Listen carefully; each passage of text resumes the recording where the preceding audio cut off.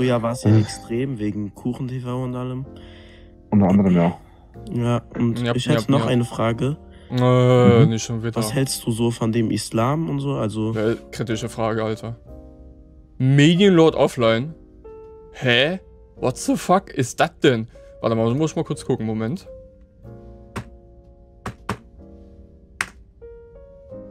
Oh, er hat einen Bann kassiert.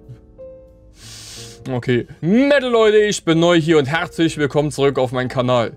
Drachenlord hatte gegen 12.40 Uhr wieder angefangen zu streamen und äh, ich weiß nicht, Mittagspause ist da normalerweise schon rum und ich weiß nicht, Menschen, die arbeiten gehen oder zur Schule gehen oder sowas, die sind dann normalerweise nicht da, vor allem unter der Woche nicht. Das wird ein wenig schwierig, aber Drachenlord denkt wahrscheinlich immer noch, dass wir Sonntag haben, denn er sagt ja vorgestern, dass wir Freitag hätten, aber da hatten wir eigentlich Samstag gehabt. Aber egal, ähm, in seiner Welt ist sowieso alles anders, deswegen, keine Ahnung. Unser Lieblingslord ohne Fort hat wahrscheinlich wieder für sieben Tage ein Bann kassiert, weil wir kennen alle seine Streams mittlerweile und die haben sich im Gegensatz zu früher auch überhaupt nicht verändert und Drachenlord hat sich auch nicht verändert, wenn wir die letzten Discord-Leaks von die Mythigung, nee, nicht Demon, ah, der ist ja nicht Demon, ist eine ganz andere Person, ja wenig mitgehört haben. Der hat sich wirklich überhaupt nicht verändert. Der ist wie immer nur am Beleidigen, der ist wie immer nur am Rumflamen, der erzählt die gleichen Lügengeschichten wie eh und je, der erzählt immer noch aus, aus dem Stegreif, da, da zieht er sich einfach irgendeinen Käse von oben herab und versucht irgendwas zu erzählen, obwohl er nichts zu erzählen hat. Wir haben zum Beispiel letztens wieder, ich habe ja heute wieder Video hochgeladen, hat er wieder versucht, über Diät und Gesundheit zu reden. Ja, ähm, genau. Genau der richtige Rede darüber. Egal. Äh, warum Drachenlord Stream jetzt aber wahrscheinlich gesperrt wurde und der wahrscheinlich wieder für eine Woche warten muss, es ist eigentlich logisch. Der ist wie immer nur durchgehend am Beleidigen. Der, der ist wirklich unverschämt zu seinen Zuschauern. Der, ich möchte vielleicht sogar in den Raum stellen, dass er vielleicht sogar seine bezahlenden Zuschauer tatsächlich betrügt. Die bezahlen zum Beispiel für einen Bezahlchat. Die schreiben einen Kommentar und werden dann direkt gebannt. Ein Beispiel. Oder er macht eine Ankündigung. Was macht er dann noch? Naja, der macht dann nichts mehr. Der macht die Ankündigung, das war's dann. Und dann ist es halt weg. Was macht ihr denn alles noch? Der hat im gestrigen Stream zum Beispiel auch diese, ihr habt es vielleicht ganz am Ende des Streams zweimal gehört. Da hat man komische Geräusche gehört. Das war so ein Gestöhne.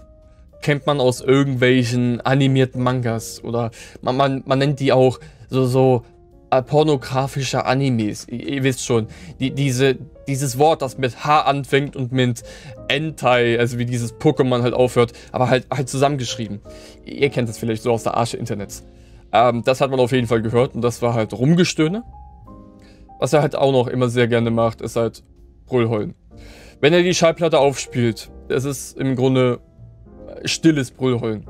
Wenn er zum Beispiel gegen Ofenkäse und Mimon halt wirklich direkt beleidigt, das ist halt wirklich richtige Hassrede, was er betreibt. Und das nächste ist ja auch, der liegt einfach ganz wild irgendwelche fremde Leute. Der hat im heutigen Stream, ich habe das zum Beispiel auf Twitter mitbekommen, ich habe den heutigen Stream aber nicht gesehen, weil, keine Ahnung, ähm, es gibt Leute, die haben Privatleben. Ähm, ich habe gesehen, dass er einfach mit seinem Handy ein Gesicht gezeigt hatte, mit dem er halt telefonierte. Das macht man eigentlich nicht, wenn er die Facecam eigentlich nicht auf TikTok zeigt. Das ist nämlich eigentlich schon Bruch der Privatsphäre. Aber das ist dem Lord ohne Fort ja völlig egal. Das sind ja alles Hater. Wenn man eine normale Frage stellt, wie zum Beispiel, was ist dein Lieblingsessen? Das ist eine Hate-Frage. Weil nur Hater stellen solche Fragen. Das weiß man doch. Deswegen ist alles, was die anderen Leute bringen, ob das jetzt Hater sind oder ob das jetzt normale Leute sind, die seit ein paar Tagen dabei sind und halt etwas über Drachenlord wissen möchten, das sind alles durchweg Hater. Leute, merkt euch das mal.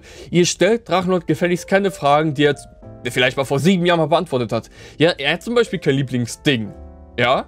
Oder, ja, aber was hat er gestern zum Beispiel gemacht? Das interessiert euch auch nicht, weil das ist Privatsache. Oder was hat er zum Beispiel als Frühstück zum Frühstück gegessen? Das hat er im gestrigen Stream auch als Beispiel angebracht. Ey, soll er da stundenlang nur darüber reden? Stellt euch mal, äh, stellt euch mal neue Fragen. Stellt doch einfach mal neue Fragen, Leute. Aber da haben wir ein Problem. Äh, wenn ihr eine neue Frage stellt, dann ist es eine Hate-Frage. Aber wenn es keine Hate-Frage ist, dann wurde die ja schon ewig lang ja irgendwann mal beantwortet, irgendwann in seiner ganz, ganz, ganz erfolgreichen YouTube-Karriere. Und die Videos, die sind teilweise ja schon lange nicht mehr aufrufbar. Ähm, Reinerle denkt sich hier halt wirklich, also hier, da oben, er denkt sich da halt wirklich, dass die, dass wirklich alle Zuschauer schon seit Anfang des Games dabei sind. Ich glaube, das denkt er sich wirklich. Warum? Warum? Ich verstehe es nicht. Das geht, das geht mir in meine Rübe da nicht rein. Ich, ich verstehe es nicht. Warum? Die meisten Zuschauer, die aktuell auf TikTok hat und die wirklich bei dem ein Bezahlabo reingeschmasst haben oder mit dem halt reden wollen, die sind weniger als paar Monate dabei. Das kann ich hier versprechen. Und die anderen Leute, die halt wirklich ein sehr, äh, äh, eine sehr tiefe Diskussion mit Drachenlord eingehen, die kennen Drachenlord schon in der Regel eigentlich schon etwas besser weil die halt versuchen, bei dem lieben Reinerle halt einen Triggerpunkt zu finden und die richtigen Fragen rauszuquetschen. Das endet aber in der Regel so, dass die Leute, naja, am Ende von Drachenlord einfach als Hater abgestempelt werden, obwohl die nicht mal irgendeine ganz, ganz böse Frage gestellt haben. Und dann werden die dann einfach gebannt. Du bezahlst bei dem 6 Euro, um einen Kommentar zu schreiben und dann instant gebannt zu werden. Und dabei bist du nicht mal ein Hater. Und es gibt draußen immer noch Leute, die finden diesen Typen, ja, also den, den, den lieben Reinerle, die finden diese voll sympathisch und die sehen denen ein übelst krasses Mobbing-Opfer, weil es gibt da Leute, die ihn kritisieren. Es gibt da Leute, die seine Taten kritisieren, nach wie vor. Natürlich gibt es ein paar Leute, die es vielleicht ein wenig über die Stränge geschlagen. Aber es sind hauptsächlich Leute, die einfach seine Videos einfach nehmen, dazu einfach einen Kommentar abgeben, das keine Beleidigung ist oder so ein Quatsch, sondern es einfach aufzeigen, warum der sich da widerspricht, warum der halt vielleicht etwas Blödsinn erzählt und warum man den vielleicht einfach nicht glauben sollte. Nur so, nur so nebenbei. Das, ja, das ist meine Meinung. Ich kann mich ja natürlich irren, ne? Ich möchte euch hier an der Stelle ganz kurz die TikTok TOS zeigen, damit ihr Bescheid wisst, warum Drachenlord jetzt eigentlich von TikTok jetzt gesperrt wurde und immer noch wird.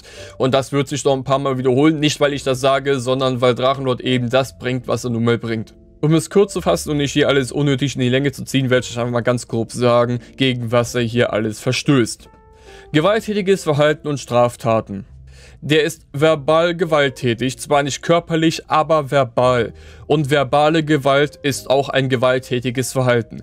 Beispiel. Er schießt gegen Mimon und Ofenkäse. Punkt. Hat er schon mal dagegen gebrochen. Hassrede oder hasserfülltes Verhalten. Der setzt die Schallplatte auf und beleidigt einfach die ganzen Hater, beleidigt Ofenkäse, beleidigt Mimon, beleidigt einfach alle, wo er der Meinung ist, ja, die sind Hater. Gewaltbereit und hasserfüllte Organisationen individuieren, das trifft natürlich nicht zu. Ausbeutung und Missbrauch Minderjähriger.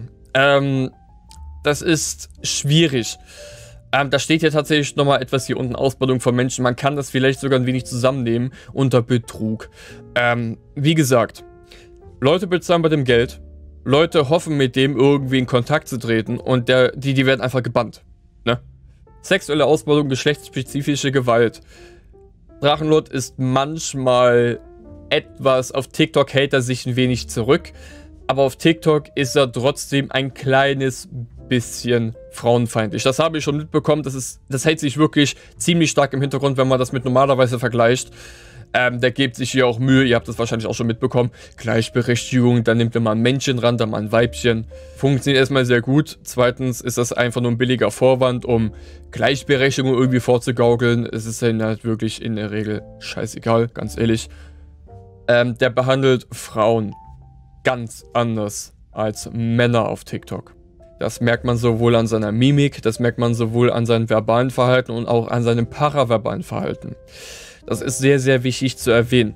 Belästigung und Mobbing ist bei dem eigentlich die ganze Zeit, also wirklich nonstop an Start, weil der nur am Beleidigen ist, der ist nur am Hetzen und das zählt eigentlich auch schon teilweise unter Mobbing, wie oft er teilweise auch Ofenkäse in seinen Videos erwähnt und beleidigt. Gleiches geht auch für Mimon nach wie vor. Mich hat er auch schon erwähnt, aber halt nur einmal, wo ich den halt restreamt habe und auf seinen Stream reagierte. Das, was der in seinen Streams macht, das ist ziemlich oft Mobbing. Auch wenn viele das nicht einsehen wollen, das ist oft Belästigung und Mobbing. Alle Punkte in diesem Menü die treffen überhaupt nicht zu, aber was hier zutrifft, sind sexuelle Handlungen und Dienstleistungen. Was wir nämlich gestern hatten, ist zum Beispiel auch das bisschen Rumgestöhne. Das reicht auf TikTok aus, um gebannt zu werden. wenn ihr auf TikTok aus irgendwelchen Gründen, warum auch immer, streamen solltet oder irgendwas hochladen sollt auf der Seite, ey, macht dort überhaupt gar nichts, was irgendwas mit Sex zu tun hat, wirklich. Das hat auf der Seite TikTok überhaupt nichts verloren. Der Grund ist nämlich der, auf der Seite sind extrem viele Minderjährige unterwegs. Ihr wisst das vielleicht auch. Deswegen versucht TikTok, beziehungsweise die Leute von TikTok, die sich um diese Seite kümmern, die versuchen diese Seite so kinderfreundlich wie nur möglich zu halten. Ähm, dass das nicht funktioniert, sollte logisch sein, weil diese Seite einfach gigantisch ist. Aber die sind diesbezüglich halt wirklich sehr, sehr, sehr empfindlich. Gleiches geht übrigens auch für sexuell anzügliche Inhalte. Das kann man hier eigentlich auch ein wenig zusammenfassen. Was hier auch noch zutreffen könnte, wäre auch Fehlinformation, Hashtag Ankündigungslord. Der kündigt irgendwas an, der macht es nicht. Das, das war's, ja, man muss man dazu nicht sagen. Was auch noch zutreffen kann, ist Spam und betrügerische Verhaltensweisen von Konten, also sein Konto und sein Nebenkonto. Denn wir wissen ja schon mittlerweile, wenn er aus seinem Hauptkonto halt einen Swag kassiert hat, dann geht er einfach auf sein Nebenkonto und macht dort einfach weiter. Warum er das aber dann nur einmal gemacht hat und danach nie wieder, das ist ganz simpel der Grund der verdient auf seinem Nebenaccount halt kein Geld. Deswegen macht er über diesen Account auch nichts. Das ist ganz, ganz simpel. Weswegen wir wahrscheinlich damit rechnen können, in dieser Zeit, wo er jetzt diese eine Woche aussitzen muss, wird er auf seinem Blog wieder aktiv werden und dort wieder irgendwas schreiben. Weil normalerweise hat er überhaupt keine Zeit mehr, sich mal für 5 oder 10 Minuten mal für seinen Blog hinzusetzen und dann mal irgendwas auf der Tastatur hinzurotzen. Da, ja, da hat er überhaupt nicht die Zeit zu. Aber auf TikTok für 2 bis 3 Stunden zu sitzen und zu brüllholden, wie scheiße doch die ganzen Hater sind, da hat er die Zeit. Ah, hallo Leute, ähm, ich bin neu hier. Ne, bevor ich das Video jetzt beende, ähm, ich möchte euch mal fragen. Gefällt euch diese Facecam hier? Gefällt euch das? Ich habe keine Ahnung, ich frage euch mal ganz stumpf in die Kommentare rein, weil, ähm, ich finde das eigentlich ganz nice. Das macht mir Spaß. Ich habe einfach mal so diesen ganz stumpfen Greenscreen angemacht. Was ich hier verwende, ich habe hier keinen Greenscreen hinter mir aufgehangen, deswegen ist er hier auch relativ schäbig. Ähm, das benutzt übrigens auch Einerle, falls ihr es wissen möchtet. Es gibt ein Programm, das nennt sich Nvidia Broadcast und das hat eine kleine AI drin. Damit kannst du halt diesen lustigen Greenscreen-Effekt machen. Ähm, der schneidet dich dann automatisch aus und dann kannst du hier so einen lustigen Hintergrund setzen. Aber äh, vielleicht gefällt es euch, vielleicht nicht. Schreibt es einfach in die Kommentare, macht dort ordentlich Radau, Radau, Radau, Radau, was auch immer. Was Rainer eigentlich auch machen könnte, das fällt mir gerade wieder ein, so, hm, also mal gerade eben so nebenbei. Wir haben draußen mittlerweile so geiles Wetter. Warum hockt er nur in Mayons Keller und streamt von dort aus. Oder warum macht er nicht einfach mal irgendwelche Streams von da draußen? Einfach mal so, äh, der macht einfach wieder Drache läuft, weißt du? Der, der geht einfach draußen so für ungefähr 10 Minuten oder sowas, labert vor sich oder von mir aus eine Stunde, was auch immer. Und zeigt dann einfach der Welt, ey, guck mal, der will abnehmen. Aber nö. Macht er nicht, weil, naja, äh, die ganzen bösen, bösen Haters, äh, die immer neben denen stehen und ähm, hier, äh, tschik, tschik, und, und, und, beim Kopf und so. Aber da, da muss er echt aufpassen. Der hat in so viele Waffenläufe geguckt in seinem Leben. Das ist, boah, richtig hart kehren. Aber, naja. Deswegen versteckt er sich einfach im Keller, damit er nicht gefunden wird. Und er seine ganzen Mitmenschen nicht irgendwie auch mit in die Scheiße reitet. Denn wenn er draußen irgendwo im Wald ist und dort hin und her wongelt, ich, ich weiß nicht, ähm, da sind so viele Menschen unterwegs. Naja, muss der wissen. Naja, der weiß wie immer alles besser und von daher ähm, wisst ihr Bescheid. Wie gesagt, ähm, lasst mal einen Kommentar zu diesem Greenscreen hier da. Wenn ihr es mögt, schreibt's rein. Wenn ihr es nicht mögt, schreibt's auch rein. Aber ich finde eigentlich ganz nett, wie gesagt. Und dann würde ich hier an der Stelle auch sagen, ähm, ich habe euch lieb, Kuss auf Nuss, Medal auf und bis zum nächsten Mal, wisst ihr Bescheid. Und bis zum nächsten Video oder bis zum Stream heute Abend.